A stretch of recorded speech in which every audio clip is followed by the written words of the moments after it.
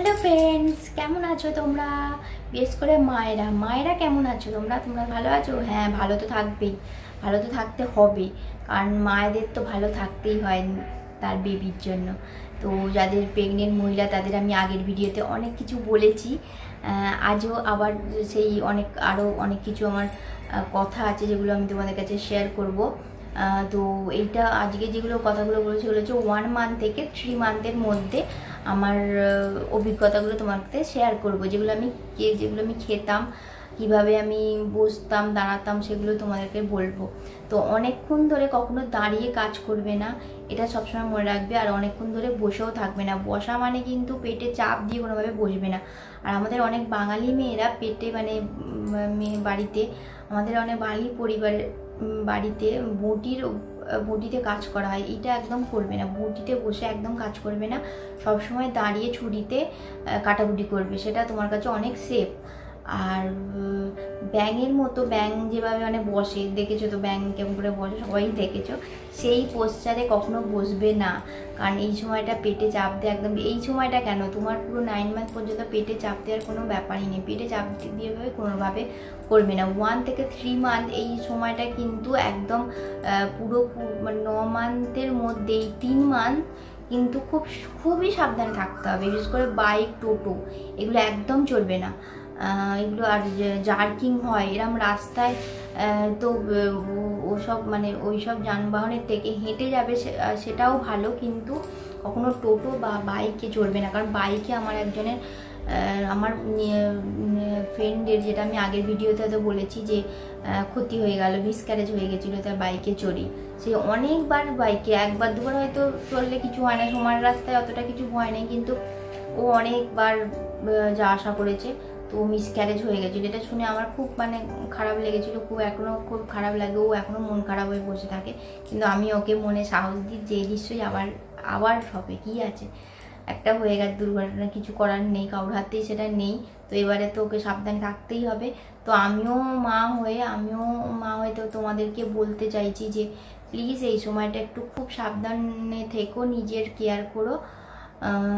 তো, আর যেগুলো আমি সকালে উঠে যে যেগুলো জিনিসগুলো খেতাম, সেগুলো হচ্ছে বাদাম, কাঁচা বাদাম, আর ছোলা আর আরেকটা হচ্ছে যেটা তোমরা অনেকেই জানো না, সেটা হচ্ছে সোয়াবিন কড়াই। এটা সাদা মতন ছোটো ছোটো দেখতে। তোমাদের আমি যদি কিনি, দেখাবো সোয়াবিন কড়াই। আমার দিদির জন্য কিনে নিয়ে যাব। তো আমি যদি কিনি, তোমাদেরকে দেখাবো যে এই সোয়াবিন কড়াইটা কেমন দেখতে। অনেকেই যদি না জানো, এটা আমি জানি বলতে গেলে আমার শ্বশুর বাড়িতে আমার শাশুড়ি মা এটা বলেছিলেন খেতে। এটা নাকি খুব ভালো, ভিটামিন, প্রোটিন সব আছে। সবাইকে এই তিনটে জিনিস আমি রোজ সকালে ভিজিয়ে রাত্রিরে ভিজিয়ে রাখতাম। সকালে উঠে খেয়ে নিতাম। খালি পেটে আমি বেশিক্ষণ থাকতাম যখন যা ইচ্ছা হচ্ছে টুকটাক খেয়ে নিতাম। বিশেষ করে বাদাম বাদাম তো বাড়িতে থাকে, বাদাম, খেজুর এগুলো থাকে, এগুলো খেয়ে নিতাম। কিন্তু সবাই যে সব রকম সব খেতে পারবে সেরকম নয়। এমনি এমনি নর্মালি প্রেগনেন্সি হলে তো খাই যায়। কিন্তু যারা ধরো সুগার আছে প্রেশার আছে, তখন কিন্তু এগুলো খাওয়া যাবে না। সেটা আমি তোমাদের অবশ্যই বলছি। সেগুলো কিন্তু খাবে না। কারণ আমি যে, আমি যেগুলো খেয়েছি সেগুলো তোমাদের বলছি, ডাক্তাররা কিন্তু যাদের যার যার যেমন খাওয়া মানে যেটা খেলে তার উপকার হবে, ভালো হবে, সেটাই তাকে শাসন করব। আমি বলছি বলে তোমরা খাবে, সেটা কিন্তু নয়। আমি যেগুলো খেয়েছি সেগুলো তোমাদের বলছি। নর্মালি যেগুলো খেতে হয় আর একটা কথা যে এই সময় পজিটিভ চিন্তা ভাবনা অবশ্যই করবে। পজিটিভ ভালো ভালো বই পড়বে নেটে ভালো কিছু সার্চ করবে, দেখবে। আর বেশি ফোন ফোন ঘাঁটবে না। মনের তো কোনোটা ক্ষতি হয় বলো? আমাদের বেবির তো ক্ষতি হয়। এই জন্য ফোন ফোন প্লিজ একটু দেখো হ্যাঁ আমার ভিডিও দেখো। একটুখানি তো আমার ভিডিও তো কয়েক মিনিটের ভিডিও তো সেইগুলো একটু দেখো। কিন্তু বাদ বাকি কিন্তু একদম দেখো না। বলে মানে এটা তোমাদের আমি সাবধানে সিরিয়াস বলছি, সাবধানে থাকতে আর হচ্ছে খুব আনন্দে থেকো মজা করে থেকো, আর পেটে চাপ দেবে না, সেটা আমি তোমায় বললাম।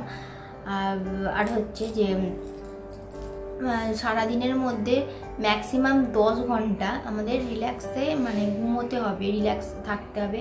কোনোভাবে কাজ করবে না, যখনই যেখানেই বসবে, ধরো বিছানায় বসেছো, সোফায় বসে, যেখানে বসে সবসময় রিল্যাক্স পেটে যেন কোনোভাবে চাপ না পড়ে, এটা তোমাদের আমি বারে বারেই বলছি। পেটে কোনোভাবে চাপ দেবে না। আর ট্রেনে বাসে বাসে বিশেষ করে কত দূরে যেতে গেলে বাস বা যেগুলো জার্কিং কম হয় যেসব গাড়িতে সেগুলোতে চলবে, অসুবিধা আমি তো হসপিটালে অনেক সময় বাসেও যেতাম।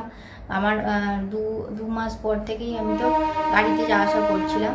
তো এতে অসুবিধে কিছু হয় না, গাড়িতে আমি যা আসা করেছি। সেরকম অসুবিধে কিছু হয়নি। আর সারাদিনে কিছু না কিছু টুকটাক খাবে। আর একটা ইম্পর্টেন্ট কথা যেটা বলে থাকি, ফল যে কোনো অ্যাসিডিটি অ্যাসিড জাতীয় টক জাতীয় ফল, এটা সবসময় বিকেলের আগে খাওয়ার চেষ্টা করবে। বিকেলের পর একদম খাবে না। একটা দেড়টার মধ্যে লাঞ্চ করবে। তারপরে দু ঘণ্টা পরেই তোমরা একটু ফল টল খেও। আর দুধ জাতীয় জিনিস একটু সকালের দিকে, বেলার দিকে খাওয়ার চেষ্টা করো।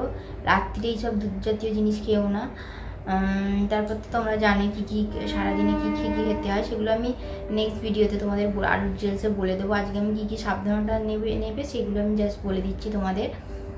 আমরা আসলে বাঙালিরা, দেখো আমি আমি বলছি যেটা তোমাদেরকে যে ভাবিতে দশ ঘণ্টা ঘুমোতে হবে, আট ঘণ্টা রেস্ট নিতে হবে তো অনেক রকমই বলি। কিন্তু রিয়েলি কি আমরা সেইভাবে মানে কি চলতে পারি? কারণ অনেকের বিশেষ মানে বেশিরভাগই বাড়িতে আমার মনে হয় এই সময়টাও কেয়ার করা হয় না। যেটা আমি আমি হয়তো পেয়েছি যে আমার আমার দিক থেকে আমাকে অতটাও আমার বাড়ির লোকেরা বলতে গেলে সেভাবে কেয়ার করতো। কিন্তু কাজ, আমি সব রকমই কাজ করতাম যে এইটা করতাম না, ওইটা করতাম, সেটা নয়, সবই কাজ করতাম, মাটিতে বসতাম না। কিন্তু আমার রান্না করা, বাসন মাজা সবই করতো। কারণ আমাদের কোনো কাজের মাসি ছিল না, তাই জন্যে আমাকে শাশুড়ি মাকে সবই করতে হতো, আর এই সবার কাজই করতে হতো, সেই জন্যে আর আমি সেইভাবে কোনো রেস্ট খুব একটা যে রেস্ট পেয়েছি সেটাও নয়। তাই অনেকের বাড়িতে এই সেম কেস সেটা আমি বলব না যে আমি আমি দশ ঘন্টায় রেস্ট নিয়েছিলাম করে কখনো কখনো রেস্ট নিতাম কখনো অত বেশি টাইমও হতো না রেস্ট নেওয়া। তাই জন্য আমি বলব বলি তোমরাও সেই রেস্ট নিতে পারবে, সেটাও আমি জানি, হয় না। কারণ এই আমাদের, এই সমাজের তো এটাই ইয়ে যে যাই হোক। কিন্তু একটা কথাই বলব, আমি যারা ভিডিও দেখছ যেসব হাজব্যান্ডরা প্লিজ একটু তার, তোমার তোমার ওয়াইফের একটু খেয়াল রেখো। খুব খেয়াল রেখো, এই সময় তো খুব খেয়াল রাখতেই হবে। আমার হাজব্যান্ড আমাকে খুব খেয়াল রাখতো। সে মানে সারাত্রি যখন ছুটি বাড়িতে থাকতো, তখন কিন্তু আমার বেশিরভাগ কাজটাই করে দিত। ওই জন্য আমার বাড়ি থাকলে আমার খুব ভালো লাগতো যে অনেক কাজ করে দিচ্ছে। কিন্তু ও যখন থাকতো না তখন তো কিছু করতে নিয়ে করতেই হয়, তাই না? আর সবাই তো সবাই দেখো, আমরাও প্রেগনেন্ট হয়েছি, এবার আমার আগের মানে আমার শাশুড়ি মা প্রেগনেন্ট হয়েছে, তখন তাদেরও হয়তো রেস্ট পায়নি সেইভাবে। তো আমাকেও সেইভাবে রেস্ট কি দেবে? সবাই সেটাও হয় না। তো এটা মানে চলে আসছে রীতিটা, এটা তো ভাঙা যায় না। তো তোমরা যদি পারো রেস্ট অবশ্যই নিও। আর বাড়ির লোকেরা প্লিজ এই সময় একটু তার বৌমাদের কেয়ার করো। বাপের বাড়িতে একটা আলাদাই কেয়ার পাওয়া যায়, কিন্তু আমি বাপের বাড়ি থাকার সুযোগও পাইনি যে আমার হাজব্যান্ড সবসময় আমার বলতো এখানেই থাকতে, শ্বশুর বাড়িতে। ওই জন্য বাপের বাড়িতে বেশি থাকিই নি একদমই থাকিনি, যে আশা করতাম, কিন্তু থাকতাম না। এটা আমার একটা মানে বলতে পারো একটা আফসোস, আমাকে ছাড়িনি। আমার বাপের বাড়িতে আমাকে একটু ছাড়িনি। এটা মাঝে মাঝে আমার খুব কষ্ট হয়, কেন আমাকে ছাড়লো না, আমি একটু থাকতাম। মায়ের কাছে, মা, আমাকে দেখতে আসতো আমিও যেতাম, কিন্তু থাকতাম না, চলে আসতাম। যাই হোক যাই হোক, অনেকগুলো যে কথা বললাম, অনেক কিছু শেয়ার করলাম, আমার মনের কথাও কিছু বললাম, তোমাদের কিছু দুঃখের কথাও বললাম। যাই হোক সব কিছু আনন্দ, হাসি রান্না নিয়েই তোমাদেরকে আমি বলছি। তো আজকে এই পর্যন্তই। নেক্সট ভিডিও খুব তাড়াতাড়ি আমি তোমাদেরকে আপলোড করব। আর মায়েরা ভালো থেকো আর খুশি থেকো। টাটা